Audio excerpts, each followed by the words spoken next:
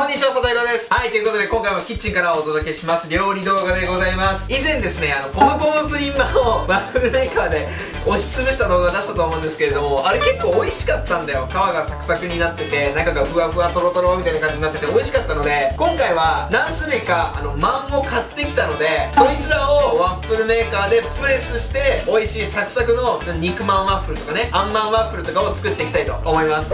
ヒロズキッチン一応近くのセブンイレブンで買ってきたんですけど4種類あったんで4種類買ってきました、ま、まずはこちら豚まんですね。特製豚まんみたいなやつ買ってきました。はいそしてこちらあんまん中華あんまんでございます。いや俺このさ中華あんまんのあんの味が大好きでなんか独特じゃない？すごい独特なんだけどこれがめちゃくちゃ大好きなんだよね。でこの豚まんとあんまんは多分美味しい。もう候補。もうナンバーワン候補だと思うんですけどこいつらもやっぱまあもう食べたいからさ作ります。はいお次こちら。ピザまんですね。でこれも結構いいんじゃない？だって普通さピザってさ耳の部分がサクサクでカリカリなところにチーズのとろっとしてるのとかがいろいろついててだから絶対これも美味しいと思う。はいそしてラスト。こちらは豚まんではございません。これなんとねチーズタッカルビマンっていうのが売ってて俺チーズタッカルビっていうものをそもそも食べたことがないからどういう味するかわかんないんだけど実はチーズ苦手ですチーズ苦手なんですけど、多分まあ、マンだったら食えるかなと思ったんで、今日は4種類買ってきました。なので、この4種類をワッフルにして食べていきたいと思います。よし、前回から活躍してくれてますね、このワッフルメーカー。何からいこうか？何がいいかな？一番サクサクで食べたいやつを後に取っといた方がいいよね、多分ね。じゃあ、あんまんからいきましょうか。あんまんは多分大丈夫な気がするんだ。こいつは。理由はないです。理由はないけどね。じゃあまず点火。はいそしてうー緊張する。はい入れますよ。入れましたよ。潰しますよ。ここがいつもね飛び出ないか緊張する瞬間なんだよね。せい。はいいった。はい行きました。行き申しました。さああんまんどうなったのか見ていきましょうか。せーの。パカ。ンうー。飛び出ちゃった。飛び出ちゃったよあんこが嘘ポムポムプリン前全然飛び出なかったのに。やばい、飛び出ちゃった。ちょっと気を取り直していきましょう。じゃあ次は、肉まん。肉まんは、あの、嵐に仕上がるですね。の、大野くんの男飯っていうところでやってたんで、多分それはね、絶対うまくいくと思うんだ。点火ファイユそれでは、肉まんさん、未知の旅へ、行ってらっしゃいませでいおこれ結構、ああ、なんだすごい音がするぞそしてプレスしきれていない。よし肉まんもそろそろいいんじゃないでしょうか。いきましょう。せーの。オープン。おおめっちゃうまそうこれは。これはうまいでしょ絶対。反対側も見てみようか。反対側も多分綺麗な色になってるはず。ああね肉汁も出ててこれは完全に美味しいやつだ。じゃあ次は未知のチーズタッカルビマンいきましょう。これ中からなんかブシャーって出てきたりしなければいいんだけどじゃあチーズタッカルビマンあの世へいってらっしゃい。せーのでい。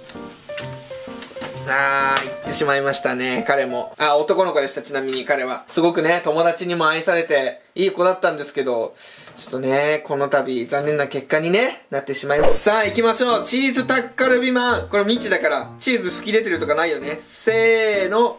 よいしょうえちょっと焦げた。これ大丈夫か？これだってそんなに変わんねえぞ、加熱時間。出ちゃってるね、中身ね。ちょっと出ちゃいましたね、これ。こんな感じです、今。よしじゃあラスト。ここに俺は期待してるからピザマン。こいつは多分ねいい感じに焼けてくれると思うんだよ。そのピザの特性を生かして綺麗に焼けてください。ピザマンも。あの世へ。行ってらっしゃいませ。ゆっくり行こうゆっくり。ゆっくり行けば弾け出ないでしょ。さっきちょっとチーズタッカルミワはねやりすぎちゃったからさ。音がちょっとえぐい。なんで？他のと違うよ音がどうしてどうしてこんなにも違うの？はいラストピザマンオープン。ポカーン。あなんか動いてる。動いてなかった今。チーズか。チーズが動いてたのか。空気を含んだりとかなんとかして。そうだろう絶対。おいその正体は何なんだ見せろ。はい、ということで今こんな感じで焼けました。4つともすごいちょっと気持ち悪いね。うん。あの、集合体恐怖症の人はもしかしたら怖いかもしんない。よしじゃあ何からいこうかな。やっぱ、一番候補の肉まんからいきますか熱熱それ熱いよね焼きたてだもんねじゃあいただきまーす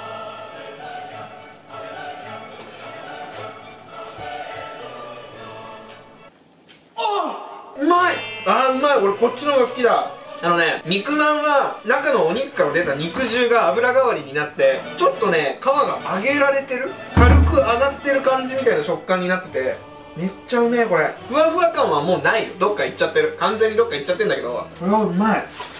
なんかおやきとかそういう感じの生地の中に肉まんのあんが入ってる。そのまんまかじゃあ次焦げちゃったあんまん。中からあんが飛び出てきてさこれ完全に焦げちゃったんだけどこれはどうだろうか。いただきまーす。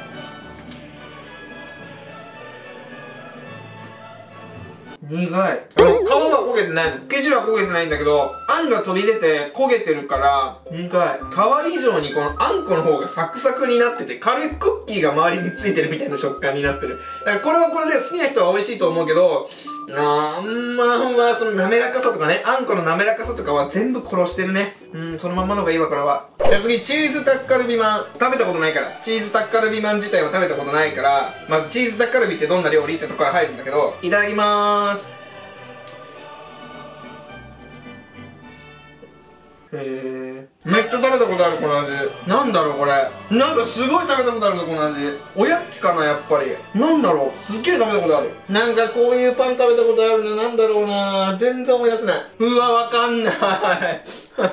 ピロシキとかそういう感じかな。ひき肉が入っててまあこれチキンだけどちょっとなんかピリ辛というかそういう感じの味付け。塩辛い感じになってるのはそれに似てるかもしれん。じゃあラストピザマンピザマンいただきましょうこれはもうだって美味しいでしょ。これ美味しくなかったらだってピザという食べ物自体がさもうダメじゃん。焼いてなお美味しいみたいなところがピザマンだと思ってるからさ。いただきます。あ美味しいピザになったね。ピザになった。ピザマンがピザになった。何が違うして何が一番好きかな？き肉まんうです。まあ、チーズタッカルビもなかなか良かったしピザまんはもうピザだし。